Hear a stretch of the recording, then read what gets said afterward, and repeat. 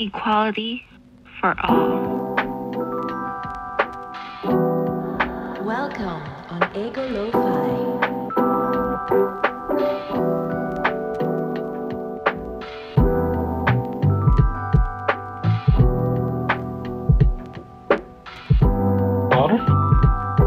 We are living in a pandemic of dehumanization. So, what do you think about Black Lives Matter? Lives Matter is a movement that is needed in this country because too many people are too ignorant to the fact that racism does exist. To the fact that racism does exist.